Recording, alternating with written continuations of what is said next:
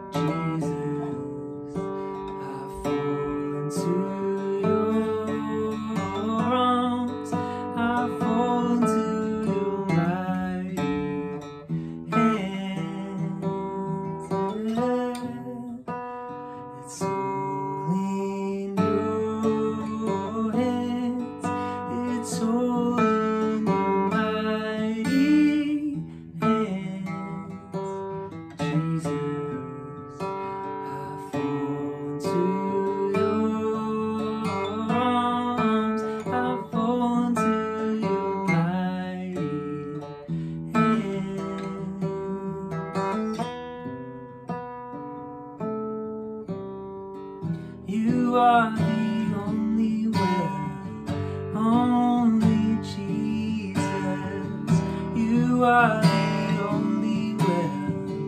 I wish to drink from. You are the only way that fills my life